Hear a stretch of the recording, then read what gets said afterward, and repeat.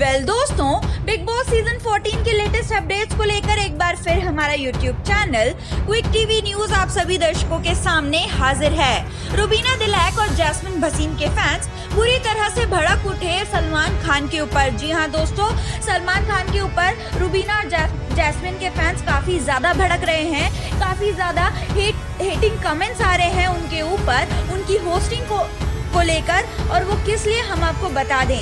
दरअसल, इस वीकेंड के बारे में सलमान खान ने रूबीना को काफ़ी ज़्यादा डांट लगाई थी क्योंकि उन्होंने जैस्मिन को राहुल के खिलाफ जाने से रोका नहीं तो वहीं रूबीना पर कई और आरोप लगाते हुए नज़र आए सलमान खान। तो वहीं दूसरी ओर जैस्मिन भसीन को इसलिए डांटा था क्योंकि उन्होंने काफ़ी ज़्यादा ओवर रिएक्ट कर दिया था राहुल के मामले में। इसके बाद जितने भी जैस्मिन और रुबीना के फैंस हैं, जो कि काफ़ी ज़्यादा हैं, क्योंकि बिग बॉस के सीज़न 14 में अगर कोई सदस्य है, जो कि सबसे ज़्यादा जो है ट्रेंड पे जा रहा है, या फिर जिसे सबसे ज़्यादा फ़ैन सपोर्ट कर रहे हैं तो वो है जासमिन वसीन और रुबीना दिलैक इन दोनों के फैंस ने काफ़ी ज़्यादा हेटिंग कमेंट्स करना शुरू कर के ऊपर उनका कहना है कि इस शो में ज़बरदस्ती रुबीना और जासमिन को गलत दिखाया जा रहा है। उन्हें बात बात पर नीचा दिखाने की कोशिश की जा रही है।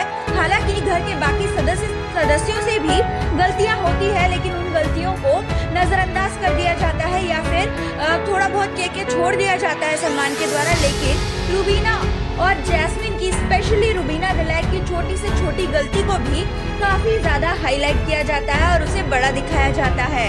और ये सब देख के फैंस को बिल्कुल भी अच्छा नहीं लग रहा है, क्योंकि वो नहीं देखना चाहते कि रूबीना और जैस्मिन जो है, बिग बॉस के घर में थोड़ा सा भी सफ़र करें या फिर बिना फालतू का उन पर कोई भी चिल्लाए।